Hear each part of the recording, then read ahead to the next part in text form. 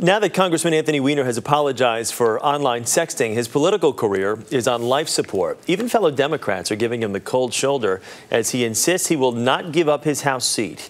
CBS News congressional correspondent Nancy Cordes is on Capitol Hill with the latest for us this morning. Nancy, good morning. Chris, good morning to you. There have now been a few calls for Weiner to resign, all those calls coming from Republicans, but Democrats are hardly defending him. As more embarrassing email exchanges leak out online, Congressman Weiner is keeping a low profile after his epic apology.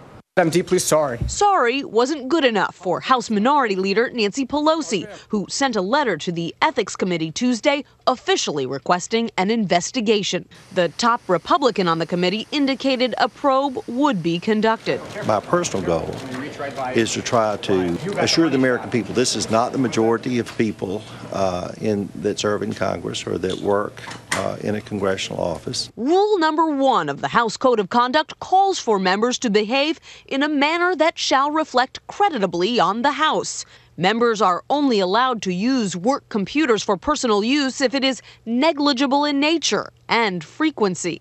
Weiner insists he used personal devices in his intimate exchanges with at least six women over the past three years. I don't have a knowledge of every of every last communication, but I don't believe that I used any government resources. Still, the pressure is mounting for the seven-term congressman. House Majority Leader Eric Cantor said he should resign, and Democrats who stood by him initially are now backing away. I know Congressman Weiner.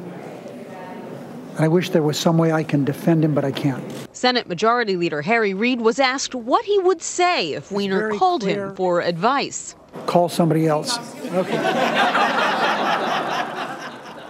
The campaign of the Republican Party believes that this is a political gift. They're saying that they're going to target the 21 Democrats who got campaign funds from Congressman Weiner. And already one of those Democrats, Betty Sutton of Ohio, says she's going to give her $1,000 to charity. Chris? And Nancy, how quickly will the Ethics Committee act on this investigation?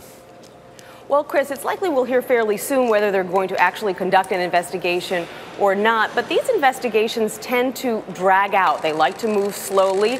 It works better for a congressman often if they have apologized. But this is something that we could still be hearing about a year from now.